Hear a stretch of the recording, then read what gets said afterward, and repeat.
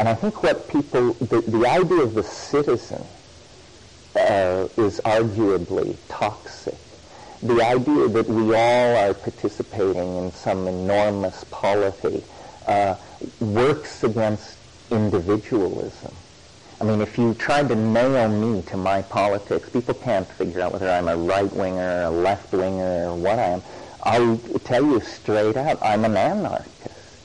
I am an absolute anarchist. I mean, I believe in people more than abstractions or institutions. I will always rely on people. I, you know, to a level perhaps uncomfortable for you. I remember back in the 60s, my line was, if you come upon a mob, you must join because the people understand far more than you do about what is going on.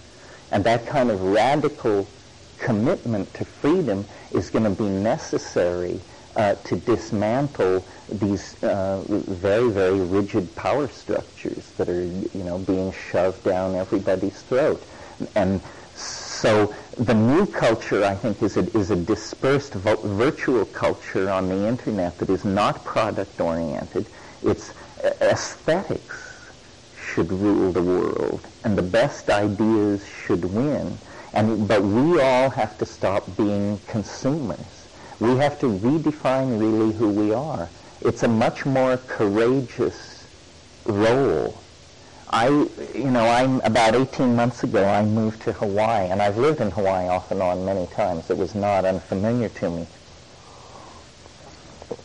But living off the grid, but with the net, but, you know, 10 seconds away from climaxed Hawaiian rainforest, so I can always push back from my desk and just take a walk in the woods, I realize I think this is how people are supposed to live dispersed over the surface of the earth, very little moving around. Vehicular travel is uh, less and less defensible.